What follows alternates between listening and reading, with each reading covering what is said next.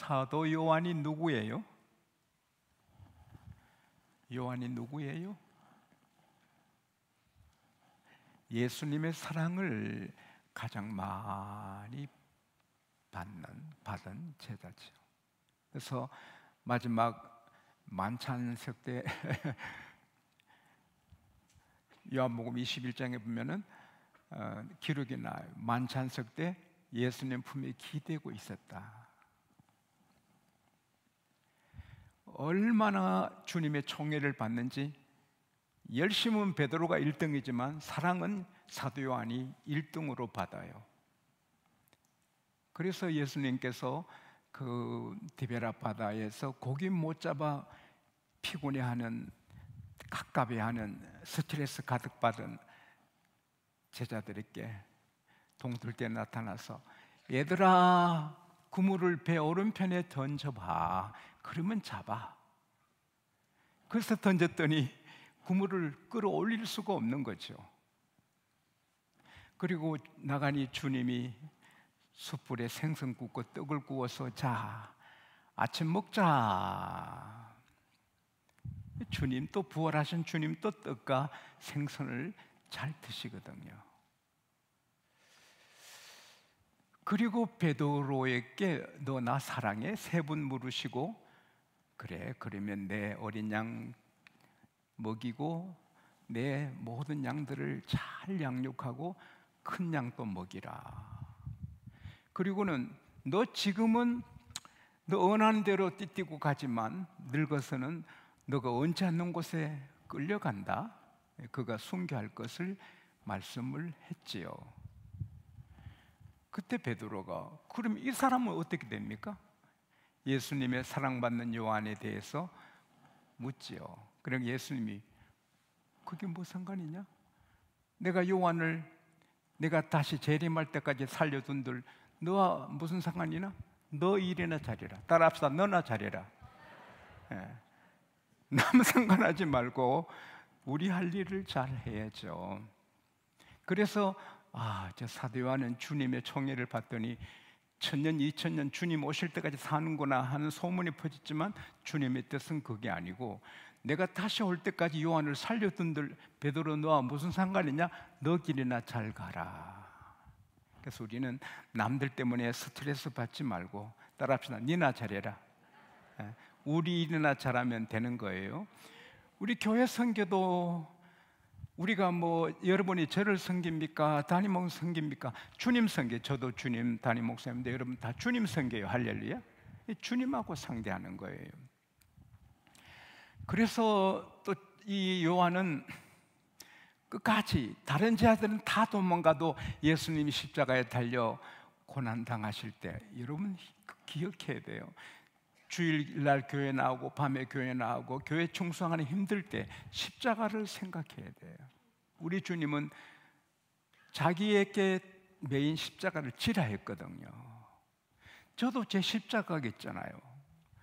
애기 같이 오늘 일부도 말씀드리는데 너무 바빠. 손톱을 깎을 시간이 없잖아요. 늘 잠을 한 5분 더 자려고 시계를 이렇게 맞추고 저리 맞추고 일을 하다 보면은 능력이 없으니까 늘 주님 시원하게 못 해드리고 그렇게 하잖아요. 그런데 제 아들이 주님 십자가 달렸을 때 다 도망갔어요. 근데 요한은 그 앞에 있잖아요. 십자가 신 주님 앞에 마리아하고 다른 여인들과 같이 있잖아요. 여자요 보소서 아들이니다. 요하나 어머니다. 근데 그때부터 이 어머니로 마리아를 모시고 이 요한은 부잣집이니까 모시잖아요. 에베소 마지막 에베소 교회에서 목회하신 그때도 마리아 모시고 갔어요. 그리고 요한은 오래 장수하고 어려움이 별로 없었거든요.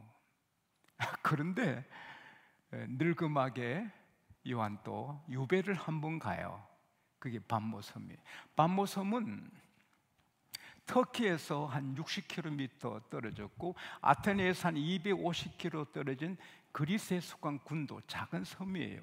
그 길이가 한 16km, 폭이 1km, 가장 넓은 폭이 한 9km, 10km 된 작은 섬이에요.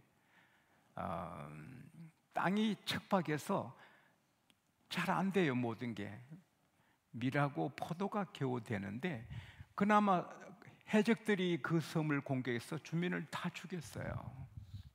죽음의 섬이 되고 그 섬에 음, 죄인들을 유배시켰어요. 섬이니까.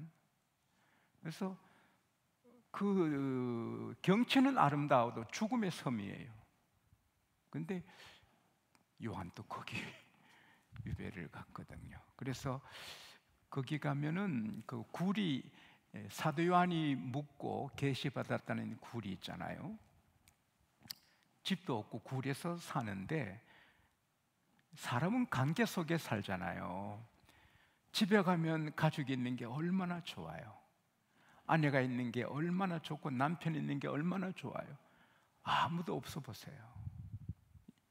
친구, 가족, 성도들 만나는 게 얼마나 행복인데요. 근데 밤모섬에 혼자 있으니 얼마나 애롭고 힘들겠어요.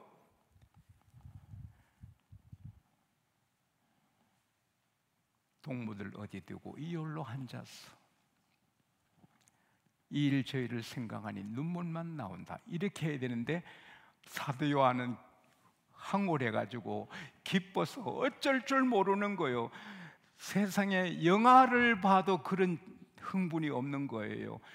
어떤 소를 봐도 어떤 연극을 봐도 어떤 음악회 가도 그런 익사이팅한 우리나라 말로 하면은 흥미진진한 그런 일이 없는 거예요. 이 반모 섬의 그 척박한 죽음의 섬에서 막 황홀한 기쁨을 누리고 감격을 누리고 그런 경험을 하는 거예요. 왜?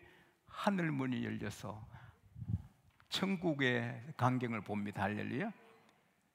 야, 이게 세상 사람들이 생각도 못하는 기쁨이고 즐거움이고 보람이고 우리만 압니다. 할렐루야. 처음에는 힘들었겠죠. 굴 속에 있는데. 근데 하나님께서 그에게 하늘 문을 열어 주십니다. 그건 이, 지금 모르겠어요. 사, 사도 요한을 하나님이 데리고 천국에까지 가서 그 광경을 보게 하셨는지 아니면 천국에 내려와서 요한에게 보게 하셨는지 그건 하나님만 알아요. 근데 성경을 문자대로 보면 올라간 것 같아요. 하늘 문이 열리는데 하나님이 앉으신 보좌. 근데 그 주님이 앉아 계셨거든요. 근데 그 주님의 모습이 녹보석, 아, 항, 어, 벽보석 같고 홍보석 같고 그 주님이 앉은 그 보좌의 그 무지개가 녹보석 같아요. 그리고 내 생물들이 날개가 여섯 개 있는 생물들이 하나 하나는 얼굴이 사자 같고 하나는 사람 같고 하나는 독수리 같고 하나는 송아지 같은 신비로운 생물들이 하나님 가까이에서 섬기잖아요. 그리고는 24개 그것도 보석 의자예요, 보자. 거기 흰 옷을 입은 장로님들이 멸류관을 쓰고 하나님 앞에 섬기는 거예요.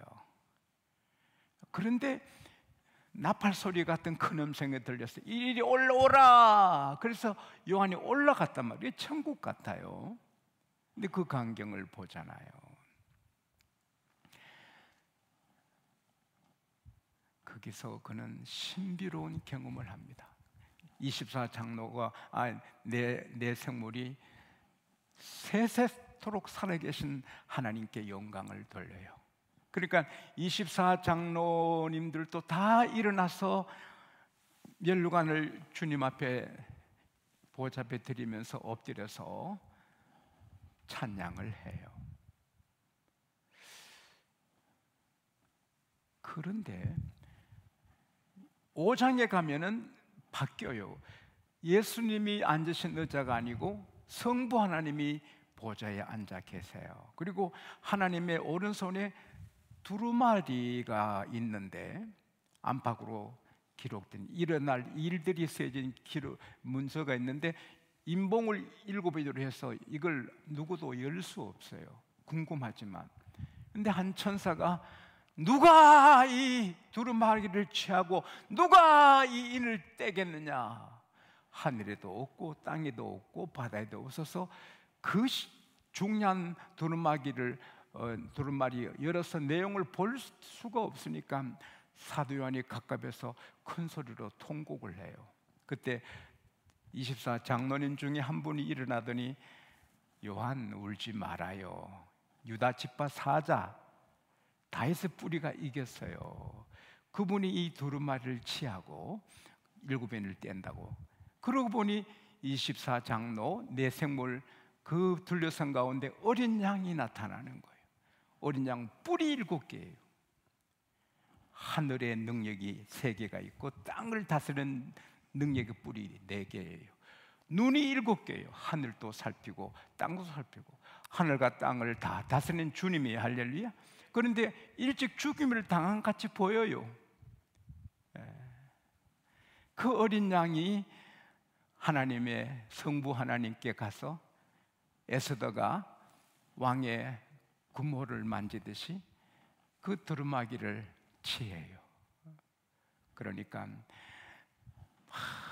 그네 생물이 또 24장로들이 또 엎드려서 어린 양 두루마기를 떼시기 합인을 때 합당한 어린 양 찬송하고 일찍 죽임을 당하사 그 피로 나라와 민족과 방언과 모든 백성을 사서 하나님께 드려 나라와 제사장을 삼아 하나님께 드려서 왕노릇하게 하신 분 찬송 받으시라고 이렇게 하는 거예요. 아 그러니까 갑자기 천천만만 천사들이 그 내 생물과 24 장로님들을 둘러싸서 세세도록 사시는 하나님 망군의 하나님 종기 영광 건세 다 받으실 분을 찬양해요. 아 그러니까 그 다음에 하늘의 모든 천군 천사 또 문제간 성도들도 아브라함 듣겠죠. 바다에서 땅에서 모든 피조물이 세세토록 계신 하나님 천지를 창조하시고 그 뜻대로 모든 걸 다스리는 주님을 찬양해요. 그러니까 20 어, 내생물이 아멘 하고 24 장로님들이 다시 멸류관을 주님께 드리며 엎드려 경배하는 거예요. 그런데 그 24 장로님들이 갖고 있는 게 검은고하고 금대접이에요. 한 손에는 검은고 하나님을 찬양하는 악기죠. 한 손에는 금대접이에요. 이 금대접은 향이 가득한데 성도들의 기도들이다. 오늘은 이 금대접, 금대접에게 집중을 합니다. 영광스러운 하나님 그 보호자에 내 생물들은 그건 천사들이죠. 힘 있는 천사들이 하나님을 보호자하고 섬기는데 그리고 귀하신 금 같은 장로님들이 금 같은 의자에 앉아서 하나님을 섬겨요. 장로님들이 그렇게 중요한 거예요.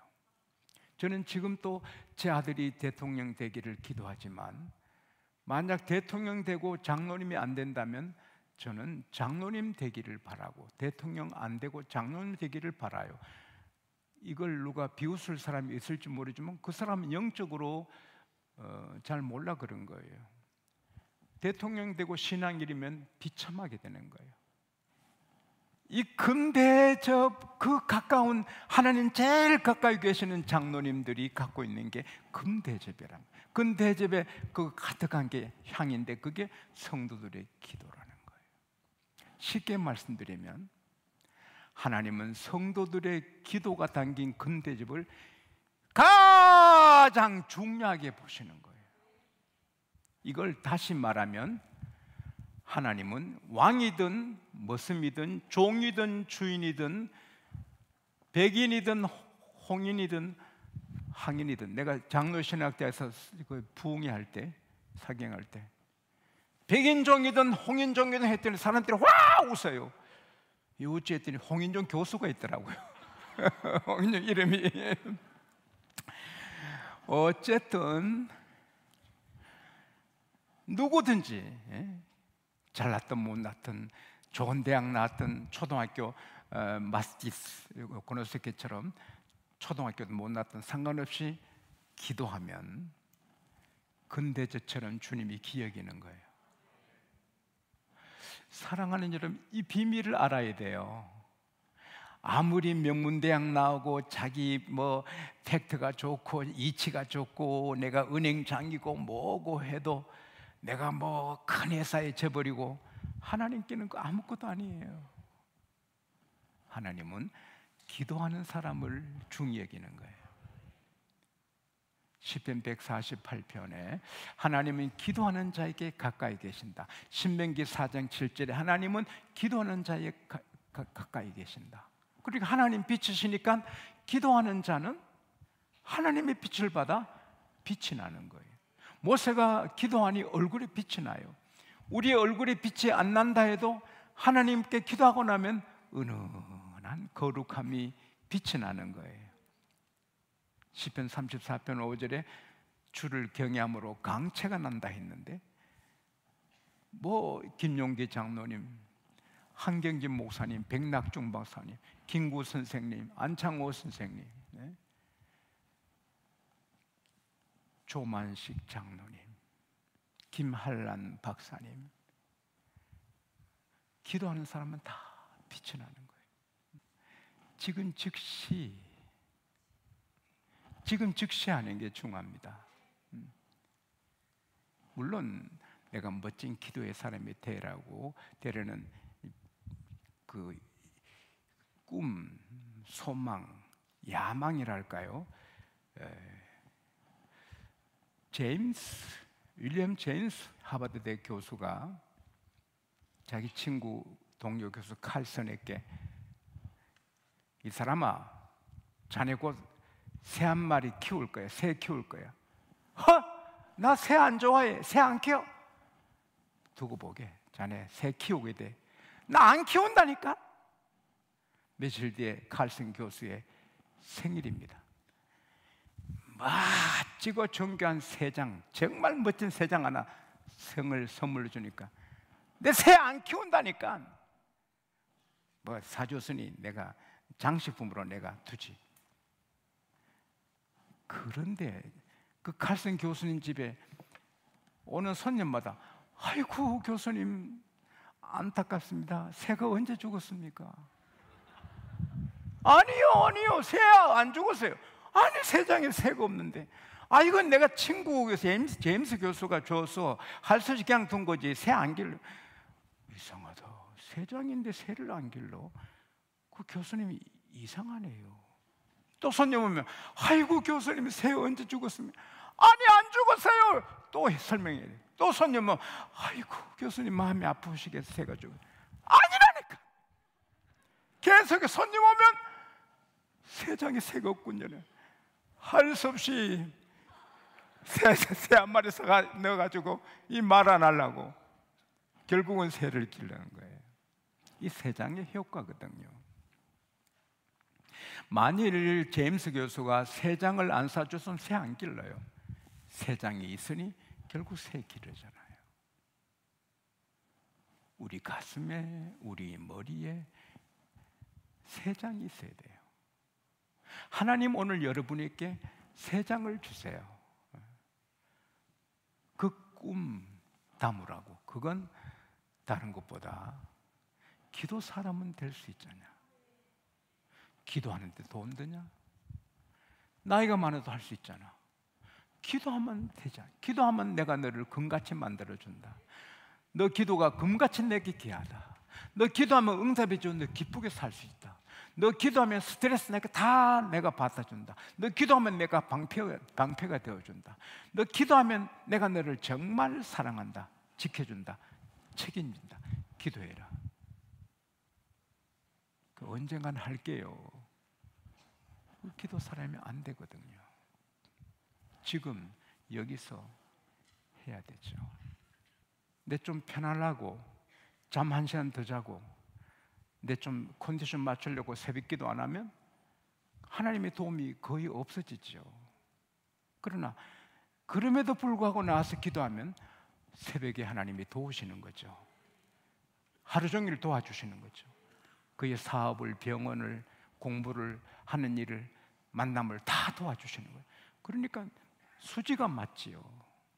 내잠한 시간 더 자고 고생하는 것보다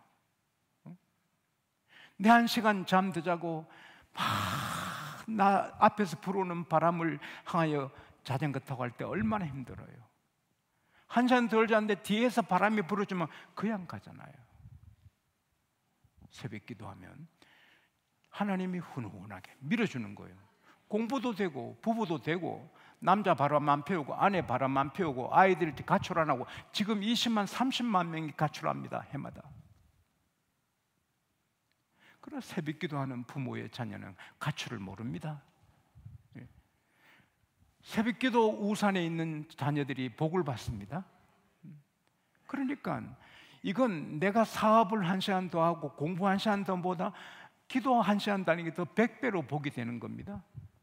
나도 되고 가정도 자녀도 나라도 다 되는 게 기도인 것입니다. 우리 새벽에 5천 명만 모여 보세요. 금방 5만 명 되죠. 그리고 건들 자가 없어요. 오늘 하나님 여러분에게 멋진 세장 하나 주시는데 멋진 기도에 금 같은 기도의 사람이 되자 할렐루야. 지금 당장 그리고 연구하는 거죠. 저는 전에는 새벽에만 기도했는데 지금 아니거든요. 새벽에는 알맞게 기도하고 하루 종일 기도하는 거죠. 그리고 기도의 시작과 끝이 있어야 되죠. 항상 숨쉬게 하지만 심호흡하는 운동 시간이 있듯이 기도하는 시작과 끝이 있어야 돼. 그걸 마치면 든든하고 겁날 게 없는 거예요. 그걸 못하면 불안한 거예요. 우리 주님이 한 시간도 깨 있지 못하니 아니 한 시간도 못 깨니 시험에 들지 않게 한 시간 이상 기도해라. For one hour. 아무리 못해도 한 시간은 기도하면 다 되는 거예요. 근데 밤물 듣기도 하고 잘 때도 잘 때 침대에도 아예 침대 누워가지고 주여 잡니다. 어제가 똑같습니다. 하나님이 이놈의 자식 그래 귀신 꿈에는 끄라 그러지 않겠습니까? 저는 잘 때도 꼭 바지 입고 잠옷 입지 않거든요. 지친 기도는 꼭 옷을 입고 기도해요. 하나님과 예의를 지켜야 되니까. 그래서 잠못 바람에 기도 안 해요. 옷 입고 깊이 기도해요. 그리고 옷 갈아입고 자잖아요. 어차피 하는 기도 예쁘게 하지 뭐. 어차피 하는 거 하나님 감동 받으시게. 어차피 하는 게또좀더 beautiful, wonderful, 쌍꺼풀. 좀 더 아름답게 하는 거지요. 그러면 하나님 기쁨, 우리가 복을 다 받는 거죠. 기도하면 다 되는 거죠. 우리 모두 기도의 사람 되시기를 축복합니다. 하나님 저희들 바빠도 일이 사업이 직장이 다 바빠도 먼저 기도 시간 떼내어서 기도해서 지금 또 금대접에 우리 기도가 단계 올라가는데 그리고 응답으로 내려오는데 하나님과 거래하며 기도에 거래하며 살게 하여 주십시오. 우리 양국계 기도하는 교회가 되게 하여 주십시오. 예수님 이름으로 기도합니다. 아멘.